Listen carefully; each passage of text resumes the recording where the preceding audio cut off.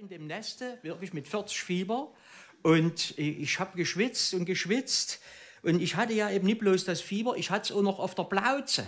Und jetzt frage ich mal, liebe Dresdnerinnen und Dresdner, mit was wurden wir immer alle eingeschmiert, wenn wir es auf der Plauze... Pulmodin! Riechen Sie's? Hier ist doch eine Wolke! Pulmodin! Ach, ich hör's riechen. Das kann uns keiner mehr nehmen. Ulmudin. Ich wach heute manchmal noch nachts auf, will einschlafen, machte die Mutti wieder die Klinke auf. Uwe, hast du schon dein Fiebernachthemd an aus Barschend? Barschend ist kein Urlaubsort an der Ostsee, sondern angeraute Baumwolle. Ja, so. Und du warst fast am Eindünseln, wie mir sagen. Dieses schöne sächsische Wort eingedunselt, geht wieder die Klappe auf, also die Türe.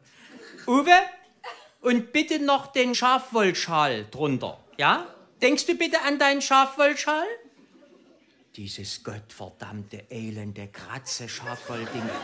Kennen Sie das auch noch? So, und jetzt stellen Sie sich da aber mal vor, ich hätte gesagt zu meiner Mutti, Mutti, entschuldige bitte, aber Schafwoll-Kratzeschal, das sieht mein Lebensentwurf zurzeit nicht vor. Du, da hätte es gefatscht. Die hätte gesagt, bei dir raschelt's zwei oder was? Mache den Strick um, du. Sonst kannst du liegen bleiben. Ja, so war das in der Diktatur.